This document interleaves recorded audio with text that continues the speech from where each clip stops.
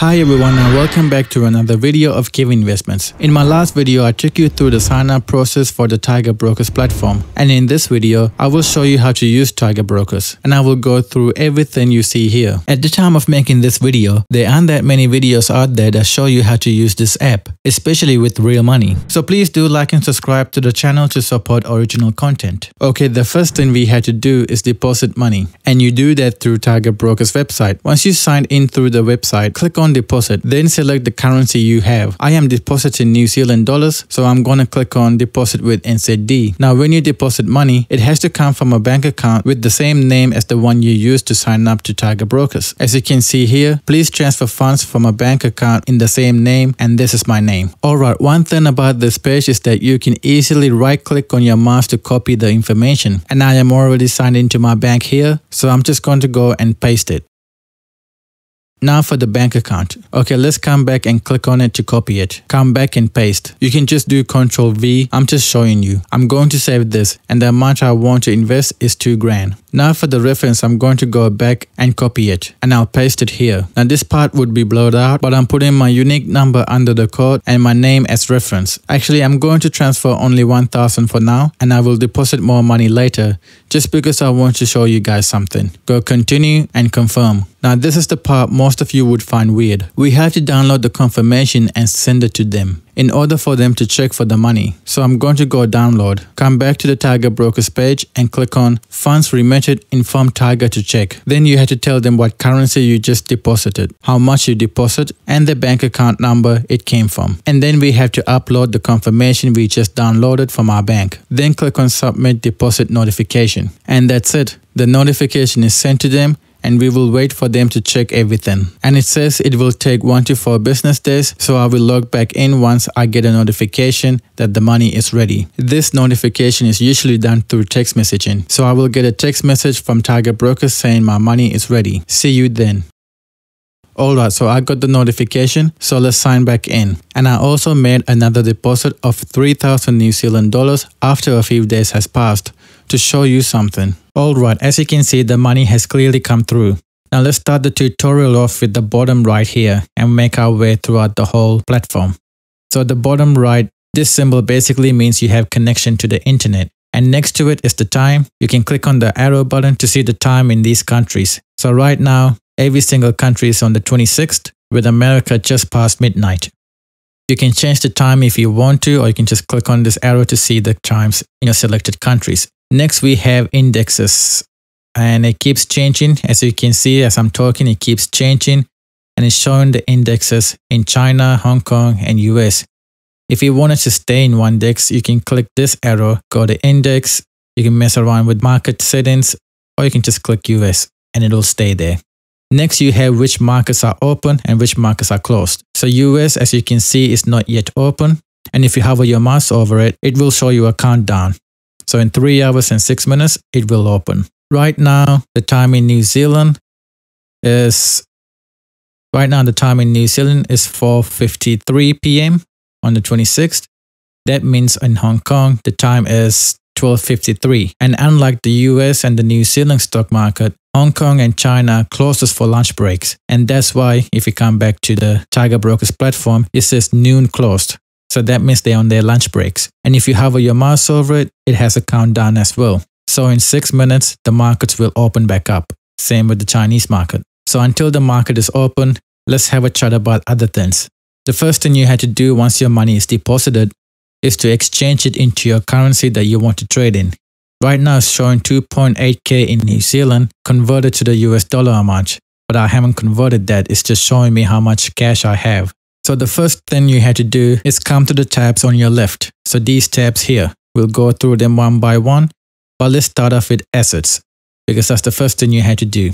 And it will take you to this page. It shows you the current asset, which is 2.8K in US. But if you go down, you see that there's zero US dollars cash in my account. This 8.2k is the 4,000 New Zealand dollars I have in my account. It's not yet converted. If you want to have a look at the history, you can click on here and you can see the first 1,000 that I deposited is here and then the 3,000 I deposited just to show you guys how much the currency moves. Let's close out of that. You also have a graph here to show you how much the money you had deposited is moving. And on the left, you can deposit and withdraw cash. I've already shown you the deposit. I will show you the withdrawal later. Okay, the first thing we had to do, as I said, we had to convert into the currency you want to trade in. So let's go exchange currency and this will pop up. And as you can see, we have zero US dollars to exchange into Hong Kong dollars. And that's because our money is still in New Zealand amount. So let's go and change that to US. Come and change this to New Zealand. And you can't sell at Hong Kong yet. You had to exchange it to American first. So let's say the amount I want to exchange is $2,000. That's the exchange rate. And I would roughly get $1,436. So go start exchange. There's a confirmation page, New Zealand to US, 2000. I would get 1,436, commission $0. The New Zealand cash I will have left over is 2000. US cash I will have after the exchange is 1400. The amount is for reference only as the currency exchange rate can change just like a share price. And the currency exchange can take about a minute and they ask you please not to exchange anymore within this time period. So let's go ahead and exchange our money. It will ask you for a password that you set up for your first trade. I have already said that, so I'm going to put that in. Exchange successful. You have successfully changed, oh, it's gone, but it's here anyway. Exchange order submitted successfully. Understand? So now as you can see, we have our money here. Our total assets should be the same, but it has gone down a bit because of the currency exchange. And let's go down to currency exchange. And now we can exchange our US dollars into Hong Kong dollars. And we can type in the maximum amount that we want to exchange, which is 1,436. And it shows the exchange rate as well. And it'll show you how much Hong Kong dollars you're going to get. I'm happy with that. It gives you all the same tips again. Go start exchange. It gives you the same exchange order details. And I'm going to go exchange. And as you can see, you have successfully changed Hong Kong dollars. Understand? And now as you can see, our US cash has gone down, but our Hong Kong dollars has gone up. And now we can go trade in the Hong Kong Stock Exchange. And our asset amount should still be the same. Now let's go and buy some stocks. So let's go back to stocks. And now, as I said in my last video that I will mention things that I don't like about Tiger Brokers and things I like about Tiger Brokers. And the first thing that I don't like about Tiger Brokers now, this may be a deciding factor for most of you guys watching, and that is the amount of money that you need to trade in the Hong Kong Stock Exchange. For example, the company that I really want to buy is Tencent.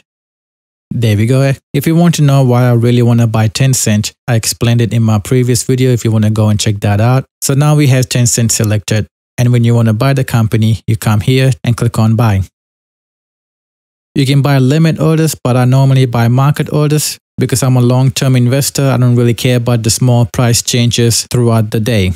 Now for quantity, when you click on it, you see the minimum amount of shares that you have to buy. And that's because in the Hong Kong Stock Exchange, you had to buy in lots. And one lot is usually around 100 shares. Now, this is the first limitation because this is not user-friendly for people with small amounts of money. As for me, I can't afford that yet either because right now, Tencent is trading around $635 per share and I cannot afford a hundred of them. So I'm going to buy the second company which I talked about in my last video and that is CITIC Limited.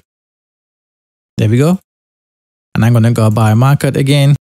And the minimum trading unit is a thousand for this company. So I'm just going to go one, go buy, and since my order is a market order, it will give you this notification saying please notice that the market order is an instruction to trade your order at any price available in the market. The price cannot be guaranteed in accordance with our obligation as a broker. Large market order may be split into smaller orders which will be traded over time. The price might be variety. Um, that's bad grammar. If liquidity is poor, the deal might not be completed immediately. Please keep your attention. Okay, there's a few grammar mistakes in there, but if you want to pay an exact amount for your shares, then you can always choose to do a limit order instead and wait for a seller to sell at the price that you want. But like I said, I just want to get in when I can and wait for years. You can choose to trade however you want to trade. Okay, let's go continue with market order. You can click on don't remind me again if you don't want to see that again. Go continue and then you have an ordered submit confirmation.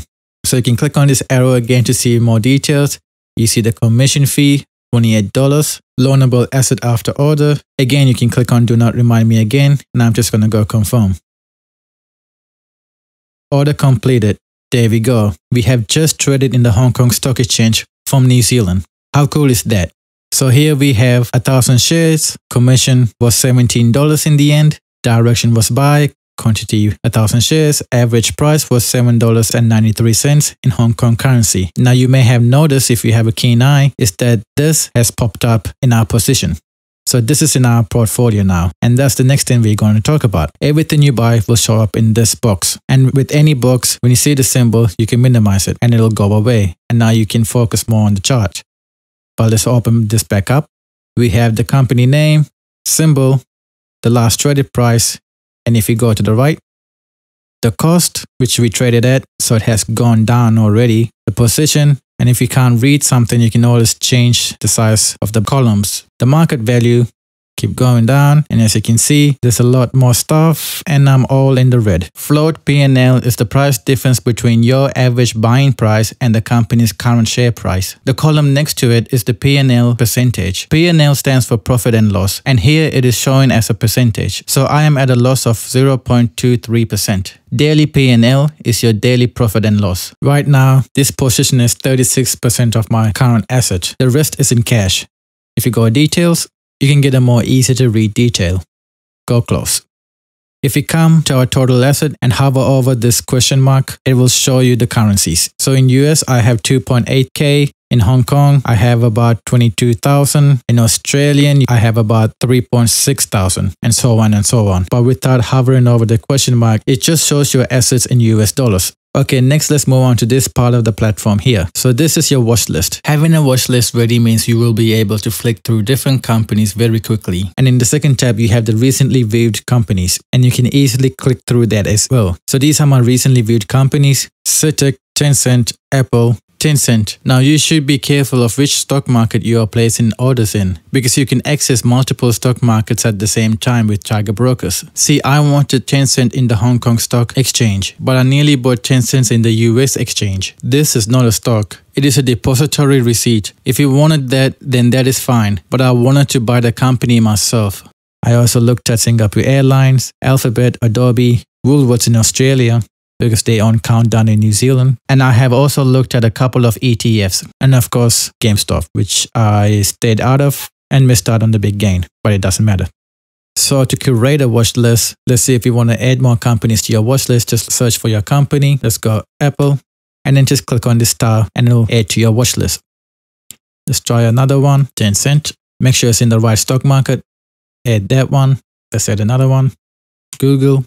Add that. That should be enough to show you guys. So there's my watch list. Now I can easily flick through these companies and get all the share price informations just like that. And you can also filter through the stock market. So if you only want to see US stocks, just click on US stocks. And as you can see, Alphabet and Apple shows up.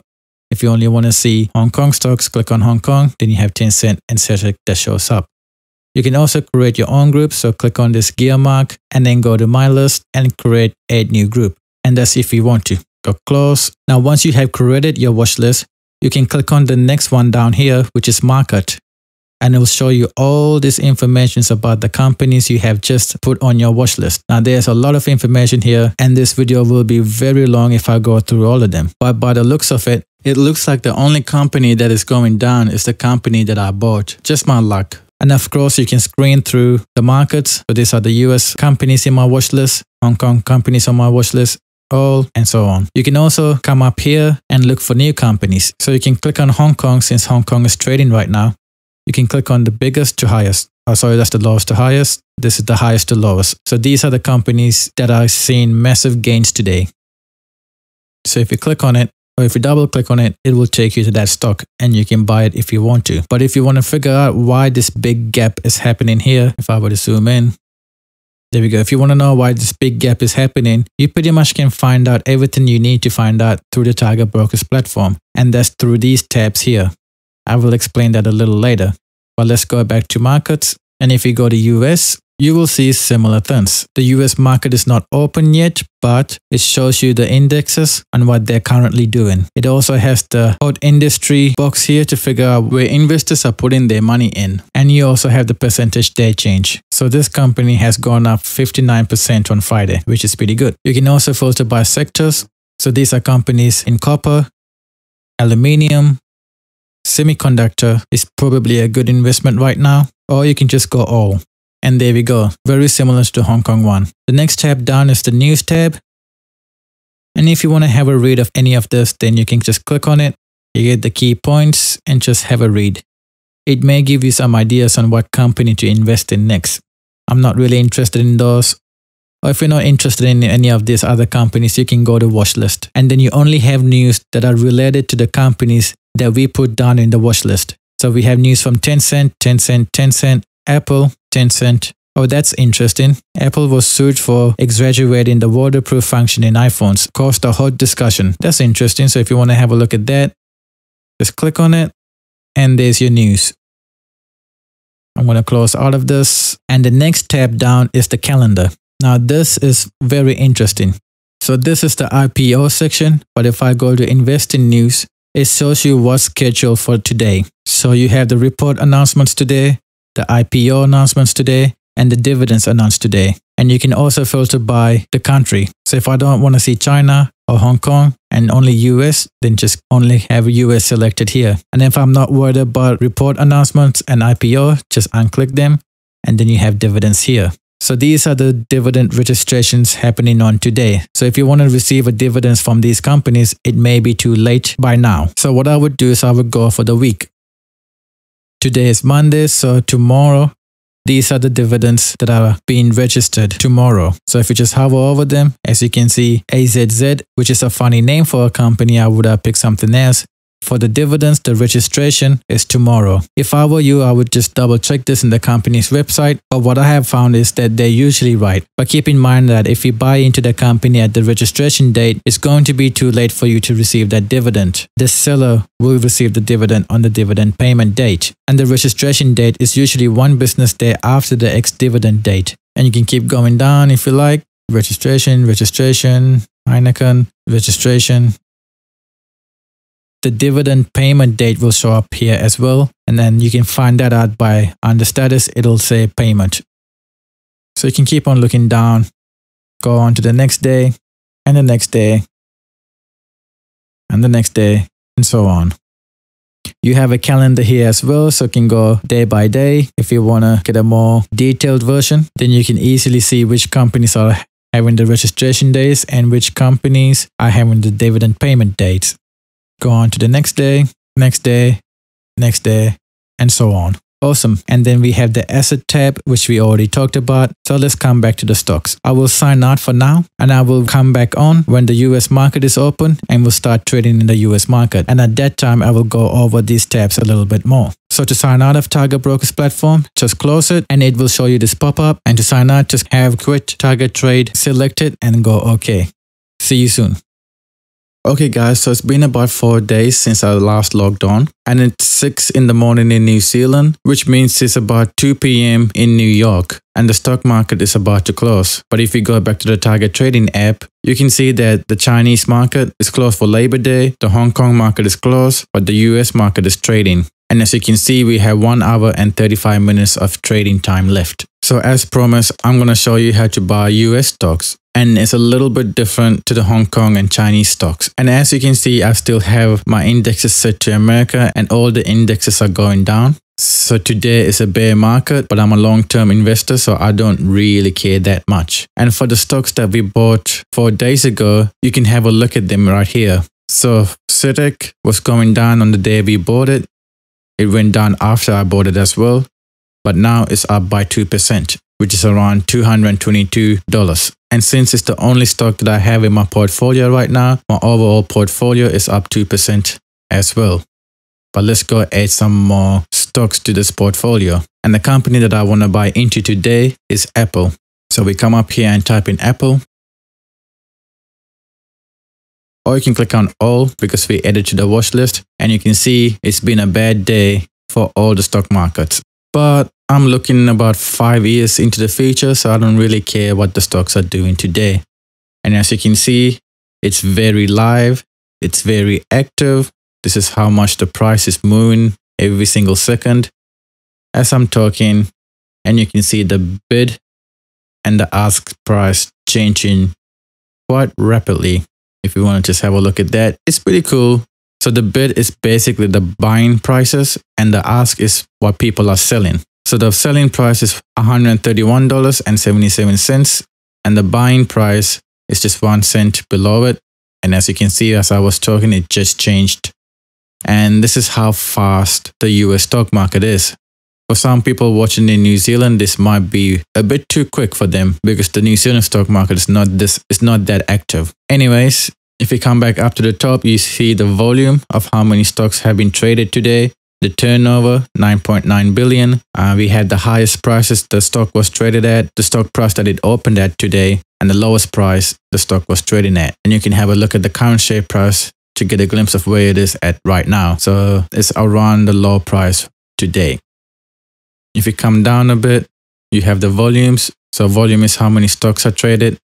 I don't really pay attention to all this that much, but you can use it to see where the stock price is heading. And you can also use the graph as well. Anyways, I'm happy to buy this. So I'm going to go buy. I'm going to buy at market price. And here's something that's different to trading Asian stocks in Tiger Brokers. You actually put the number of stocks that you want. And I forgot one thing. I need to change my US dollars. So I'm going to go to my assets, go all the way down.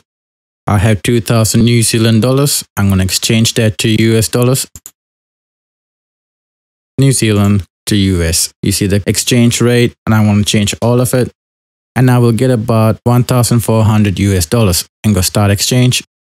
It'll give you a summary, direction New Zealand dollars to US dollars, $2,000, commission is zero, how much New Zealand dollars I have left after the exchange, and how much US dollars I will have after the exchange. Go exchange, type in your password. There we go. Now we are ready to trade US stocks. Understand. Go back to stocks. And as you can see, buy on cash, I can buy 10. Now this is where trading US stocks is different to trading Chinese stocks or Hong Kong stocks in Tiger Brokers. So as you saw in the Hong Kong Stock Exchange, you buy stocks in lots. So one lot would equal about 100 shares. But in US stocks, you buy one whole stock. So for example, I can buy one, two, or three stocks instead of buying one lot which equals 100 shares. If I buy in limit, then it tells you the total amount. But if I go market, it won't tell you the amount because it doesn't know what price you're going to buy the stock at. So you could use limit order to get an idea of how much it'll cost. So if I'm buying it at $131.87, and if I buy, let's say, five stocks, it may cost me around $659. If I go seven, eight, nine, it'll cost me around $1,186. If I go 10, to figure out if you can afford it, you can have a look here, buy on cash, or you can have a look at how much cash you actually have. I also have some Hong Kong dollars left over. So I'm going to change that back into USD and buy a little bit of more Apple stocks. You can't copy and paste this amount. I want to exchange this whole amount, but I can't right click, copy and paste it into this. But here's a little trick. On your keyboard, you can just go 9999 and it'll just automatically type in the maximum amount. So it's just a little quicker way to exchange the full amount. And then go exchange. I will get about 406 US dollars. There's going to be $7 left over in Hong Kong dollars, which is annoying, but whatever. Start exchange. And that has been exchanged. So now when we go back to stocks, let me refresh this by minimizing and open it. And as you can see, now we can buy 13 stocks for a price of $131.87. So I might buy 11 stocks or 12 stocks. But as I said, I'm going to go by market price. So I'm going to buy 12 stocks, which should be around 1,500 US dollars. I'm going to go buy. You get this pop up again, go continue, 12 shares, open it up again. I'm not trading margins, 99 cents for the commission, and I'm just gonna go confirm. And you have a little summary of the notification down here. And as you can see, it got added here. Click on more details if you like, see how much you got it for. The average price was $132.05, which is what the stock is trading at right now. So let's close this and now we have two stocks in our portfolio and let's see how Apple is doing. Not surprised, it's already going down because the whole world is pretty much going down right now. But long term investors don't really care about that too much. Okay, the next thing we're going to talk about is this box right here. This is where the chart is. I'm not going to talk too much about this chart because I'm making another video about how to read charts. But you can use this to draw all kinds of patterns that day traders love to imagine. But I'll start from up here. So this first little symbol is to minimize this part and make the chart bigger. So if I click on it, and you can go to the right and do the same to minimize this part to your right. There we go. And now you can read the chart more easily. And you can use the wheel on your mouse to zoom in and out if you got one. That's if you're trading by using graph. So let me just bring that back. The next button is the refresh button. So you can just click on that to refresh the information. The next one is a bell icon. So you can set to get notifications if the price falls between something. Or you can get a notification for market alerts and indicator alerts. So you don't have to constantly keep looking at the graph. So if I go to market alert, these are the options you have, day turnover, day volume, so on. If I go to indicator alert, you can click on what add indicator you want. RSI is a popular one. If I click on that, you can select day, week or month. This will make sense once I make the chart video. Let's see what else we have. We have the price alert. Move up to, move down to, day up over, day down over. So if you go move up to, and if you put 132, frequency once, once per day, every time. We'll just go once and click OK. And we can close that. So if the price goes up to 132, it'll give us a notification. So let's see if it happens while I'm recording this video. The next symbol is to change the chart mode. So we have a one chart mode, go four, nine, and so on. If I click on four, there we go. So this pulled up Apple, Google, and Tencent, which was on my watch list. And also the last one that we looked at, which was this one. And you can stay at this and do all your analysis if you want, but I'm going to close out of it. Go back to one chart. You can also have nine, which is insane. And then the next symbol is the star sign. Oh, there we go. Here's the notification. Latest price 132, move up to 132.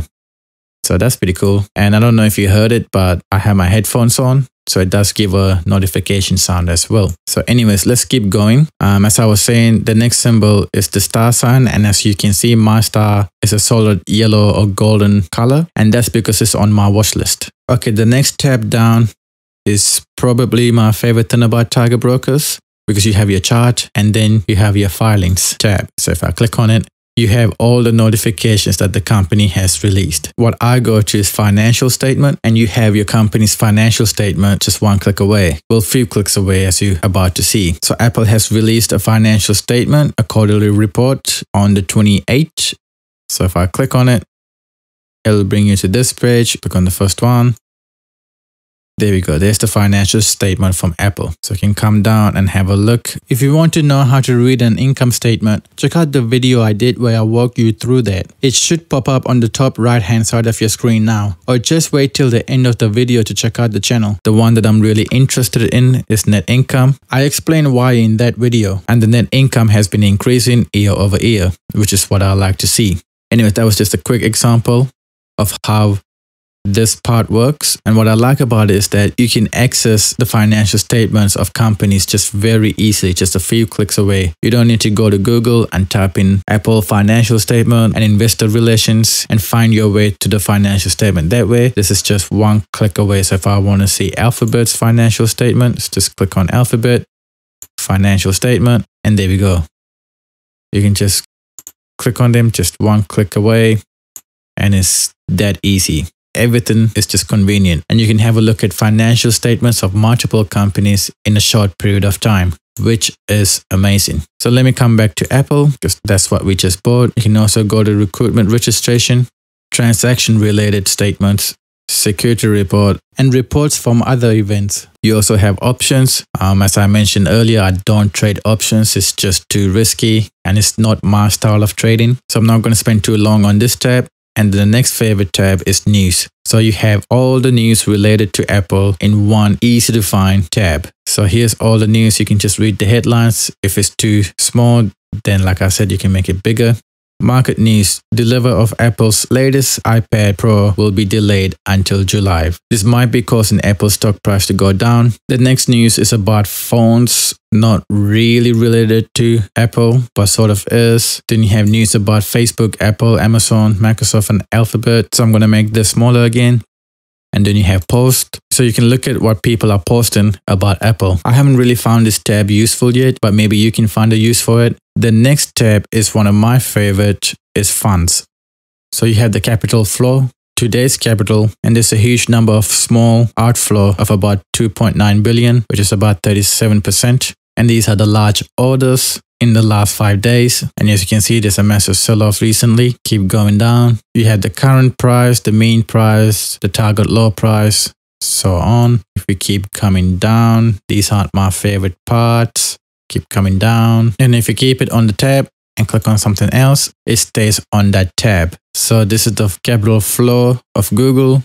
It has more of a small outflow, large orders, and so on and go to Tencent, have your capital flow as well and so on. So it's really easy. So everything is just quick and easy. Materials is another favorite tab, which opens a whole lot of other stuff. So this is another really good thing about Tiger Brokers. So if you don't know what a company is, you can have a read of the summary here. It also has a link to the official website. And on the tab below the summary is the financials. Now this is amazing. So you know how I said you can have a look at the financial statements? Well, you don't even have to leave Tiger Brokers to do that because it's right here. Everything is just in one convenient place. And if I click on Apple, it shows the financial statement for that. So that's why it's useful to have companies in the watch list. So you can just have one click and see all the financial statements.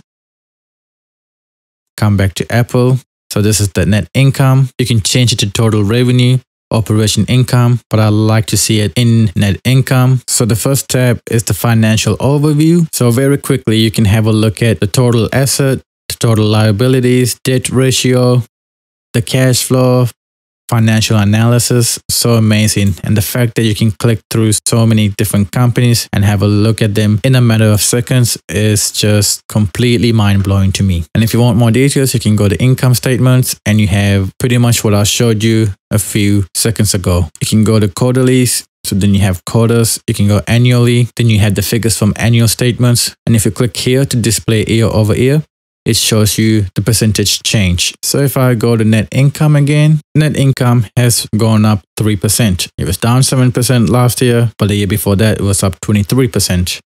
And again, you can click through stuff just like that. It's so easy to compare companies. Alphabet has just been going up year over year, pretty much every year. Come back to Apple. You can do the same for balance sheet, cash flow statements, financial analysis, so much more. I want to keep moving on because I want to keep this video short as possible, even though there's a lot to discuss. The next tab is the segments and that divides by business and by region and you can do the same to pretty much any company. So as you can see, Apple is very diverse and then the next tab is shareholder. So it tells you who the major shareholders are. And as you can see, just over 50% is owned by institutional investors and about 44% is owned by the public and 5% is owned by other listed companies and 0.06% is individuals slash insiders. In this graph, you can see that the institutional investors are going down a bit while public investors are gaining more control over it. If we come down, you basically can see who owns what, keep coming down. You can see that Vanguard, BlackRock, Berkshire Hathaway are one of the top owners of Apple. Let's keep moving on. Next tab is valuation. That's going to show a whole bunch of graph. And to be honest with you, I don't really use these, probably mainly because I don't really understand it.